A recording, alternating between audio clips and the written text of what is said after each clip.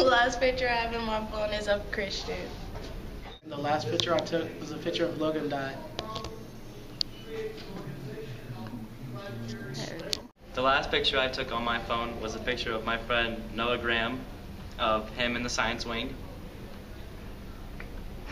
The last picture I took was of a new dress I got. The last picture I took was a screenshot of this girl.